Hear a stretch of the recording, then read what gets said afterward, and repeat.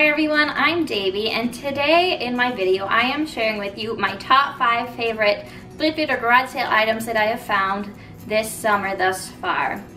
If you are new to my channel, welcome. I do videos on simple and thrifted living, DIYs and homemaking, and I would love to have you subscribe to my channel. And if you like these type of videos, don't forget to hit that like button. But I am gonna jump right in with my top five favorite thrifted items. So my first item that is my favorite is my ironstone piece that I found. It is actually on the shelf behind me.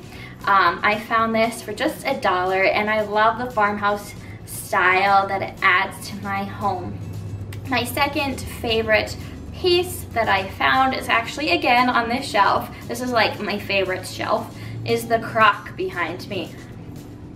Now my crock was cracked, but it was only $2 and again, farmhouse style and I just love how it looks on my shelf. My third favorite item is actually like a culmination of things, which would be my crates. I am a crate fan and I love hanging them on the wall, setting them on the ground, storing things in them, displaying things. They are used in numerous ways in my house and I just think crates look so great if you are going for that farmhouse style. My fourth favorite piece would be all my terracotta planters. I found several this summer, like a whole crate full of terracotta planters for just $5.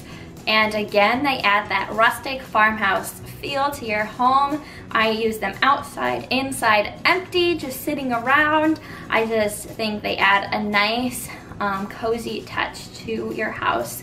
So my fifth and final favorite is my outdoor wicker chair. I found this for, oh, it's at the beginning of the summer, I think $15, and it is so comfortable. It sits on my deck and it just adds a nice warm tone and seat to my outdoor patio. So those are my five favorite thrifted items. Comment below your favorite thrifted or garage sale items you found, which one of mine is your favorite. Um, I'd love to read those comments and just hear what your thoughts are.